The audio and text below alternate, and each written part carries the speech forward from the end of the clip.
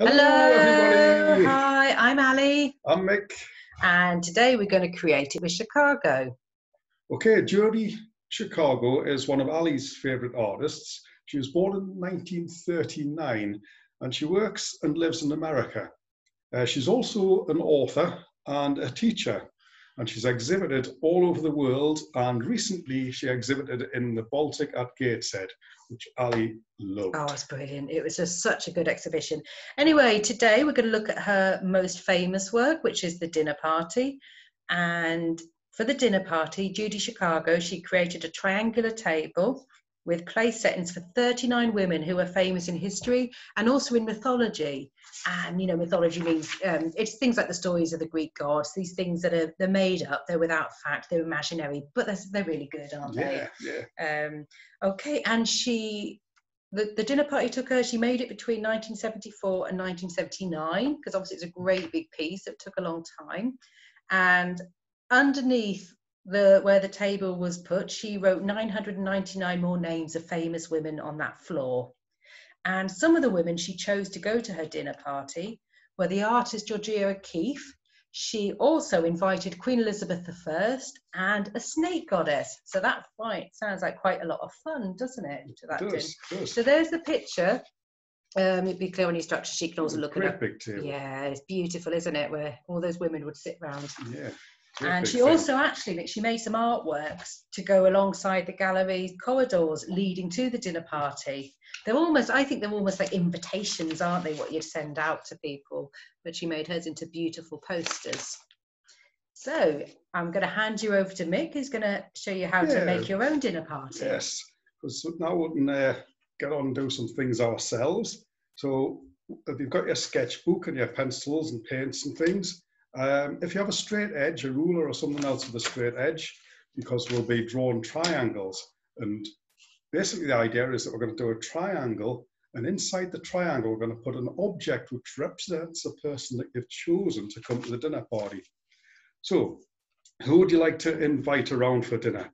think about who you would like somebody famous somebody you really like somebody from your from your family um, just just have a little think what you'd like to do and, and think of people who have things which they can be easily represented by.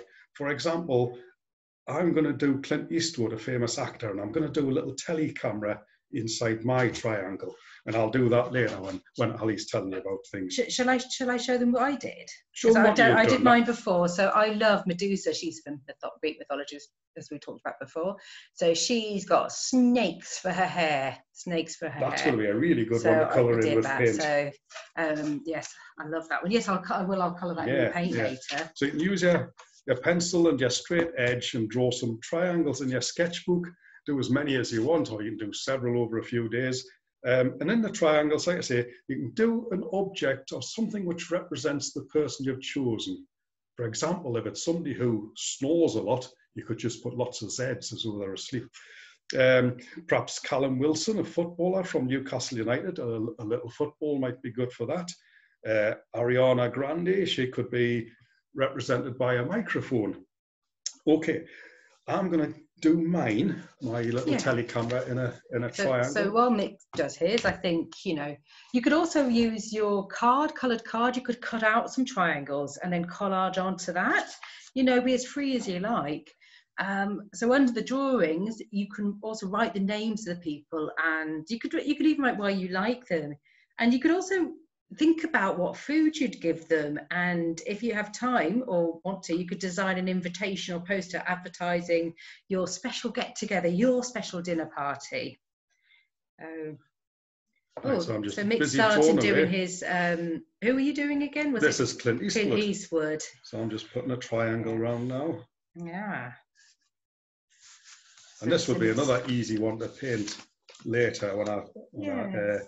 Have a little bit more time. I'll get the paints out and I'll do this Yeah, because you can always sketch first in your sketchbook, and then, like I say, then you can copy that onto your canvas balls and have a good paint. So oh, that's good. So There's mine. So Because he's a big Hollywood actor, so yeah, big he's very famous Yeah. for, for filming because as well as being an actor, he's a director and often gets Oh, himself behind the camera. So I'm just going to quickly sign this. Don't forget to sign and date your work, like proper artists do. Mhm. And again, we would love to see your creations. I'd love, I'm really nosy, so I'd love to see who you would invite to dinner and why, and especially what you'd give them to eat. I think that's it. So Yeah. What would you give Clint Eastwood to eat? Oh, bananas. Bananas. He was once in a film with an orangutan He and was, used to wasn't eat he? bananas I was thinking of beef jerky Yeah. because he's a cowboy in a lot of things, isn't he? But I think I would like to see what uh, symbols people Mm. use to represent Yeah. their friends or whoever they've chosen. I That'd think be that'd nice. be quite nice. yeah, Yeah. that would be nice. And you can email them to the usual uh, email address, the small hut arts at hotmail.com Yeah, or Facebook. yeah, we're on Facebook, and again, or send them through your youth worker to us, um, who you're working with. And again, I'll let you say thank you to our funder.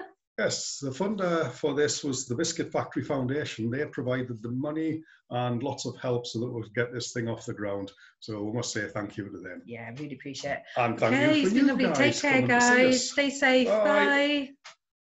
Here we go. Bye. Bye, everybody.